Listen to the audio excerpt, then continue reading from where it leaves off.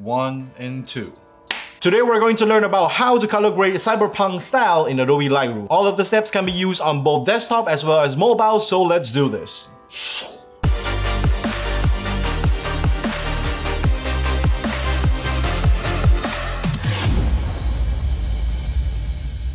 Hey guys, this is Justin and welcome to my channel where it's all about photos, videos, and camera stuff for beginners. So start learning right now by subscribing to the channel as well as clicking the bell button beside to get notified every time I post a video.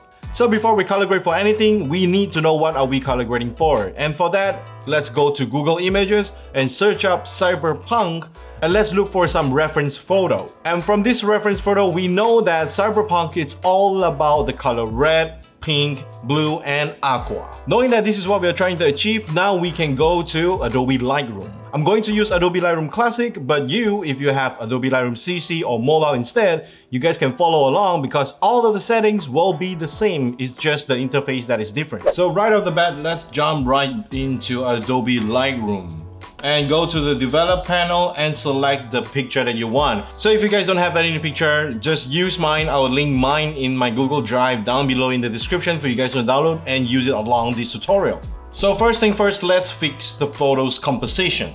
And we can go down to our transform. And then after that, I'm going to scale mine up just a little bit. And then I can do my Y offset I want to expose more of the top and at the side. So Y offset, X offset. Okay. And then after that, we are done here.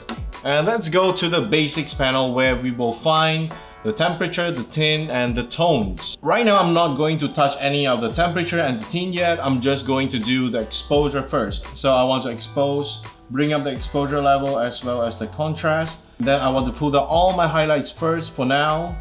And then the shadows, I'm gonna bring it down a little bit as well. And I'm gonna off all the whites. I don't need all the whites. I don't need any of the whites to be honest.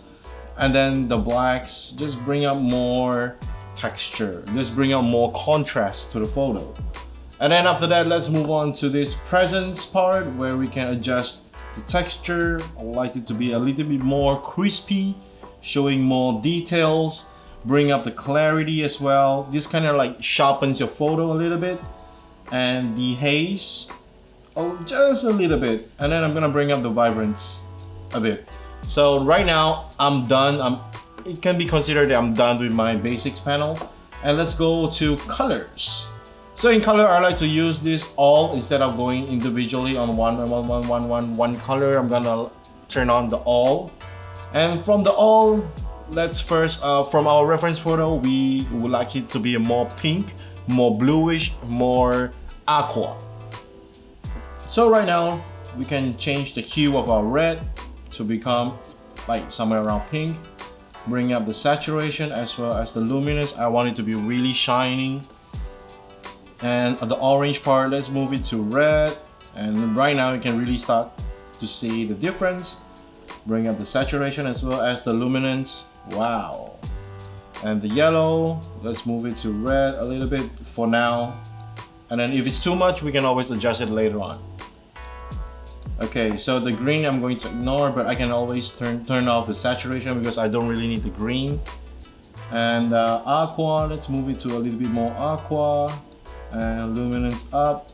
And blue, let's move it to aqua here, right here. And then just move it up. Okay, right now it's looking a bit more red than it should be. Shouldn't be this red, it should be somewhere balanced, but right now it's looking really red right now. So we're going to go back to the yellow part and turn down a little bit. Because remember, we still haven't adjusted the color temperature of the entire picture. So that's about it for the colors part.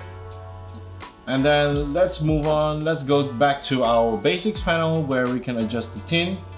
Let's make it a bit more magenta-ish. Yes, just bring out the pink. Let's bring out the pink in the picture, make it more pink. And then from the blue, let's add in a bit more blue and we are almost there already. So right now I'm seeing that there is something missing that we need a little bit more blue. So the temperature part, yes, let's make it that way. And then I'm gonna bring up the exposure just a little bit more. And here comes the highlights part. Let's play around with it. Make it really shine. Because when it comes to cyberpunk, it's all about cities, lights, neons. So this is what we're looking for and it's going great so far. So this is a little too much blue, somewhere around there. And then the magenta, slow down a bit on the magenta. And the shadows and the blacks. Okay, a bit more blue. Yep, somewhere there. Looking great so far. And from the presence, I would like to bring up the clarity a little bit more, as well as the vibrance. Okay, somewhere there. Let's close this basics panel, and then let's move on to some effects. So from the effects, the only effects that I use is the vignetting, that's all. So for vignetting, let's put in a little bit vignetting. And from the midpoint, eh, I don't really care about all this, it's fine. And then what else? Lens correction, do you want to correct the lens? We should actually do this like at first. It will correct the picture. But it's just as simple as enabling the profile correction and you'll show that your lens profile here. If not, just move on to the manual settings and then you can adjust everything like manually.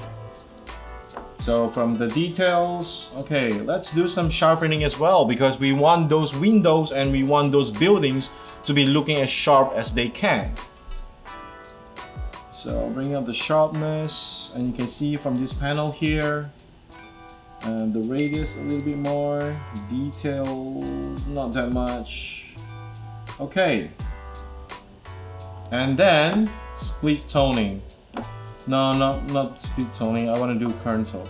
So I want more highlights. So this is the highlight part. I'm gonna bring up a bit more highlight just to give you more shine drag down the mid part a little bit and then last but not least put it a bit more blacks right here on the shadows. Okay.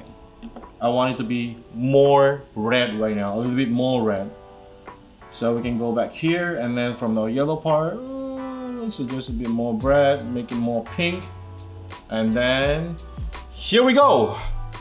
We are done so here's the before and after photo. So what do you guys think of this tutorial? If you guys have any questions, now's the time for you guys to leave a comment down below. And if you guys are looking for more tutorials on Lightroom, I'll link my videos down in the description as well. So check them out if you want. Subscribe to my channel if you haven't and hit the bell button beside as well. Like if you like this video and again, thank you so much for watching. Until next time, bye bye.